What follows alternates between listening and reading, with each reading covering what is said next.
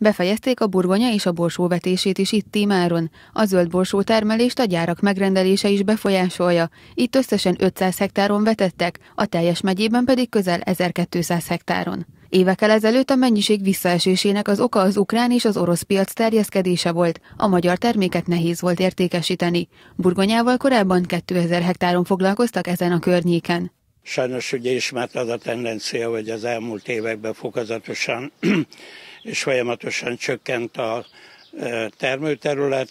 Ennek oka, hogy nagyon nagy beruházást igényelne burgonya termesztés, egyrészt a maga a termesztés, másrészt a tárolás, értékesítés, és hát a piacok is nagyon beszűkültek. Ennek eredményeképpen a hagyományos növény, amely valamikor a falunak a fő megélhetésű forrása volt, ez minimálisra csökkent, mindössze 13 hektáron termelünk burgonyát, ez itteni közösség.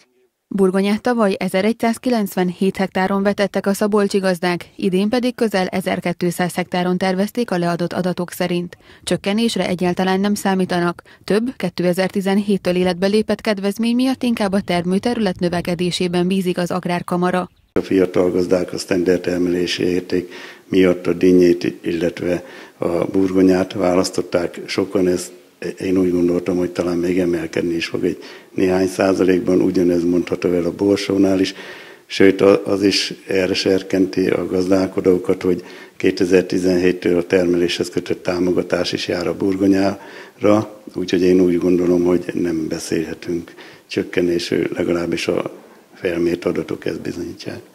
A vetés már a végéhez közeledik, a múlt heti csapadékos időjárásnak köszönhetően szinte mindenhol be tudták fejezni a gazdák a munkálatokat. Szabolcs-Szatmár-Bereg megyében egyébként a kukorica foglalja el a legnagyobb területet, összesen 97 ezer hektáron termesztik.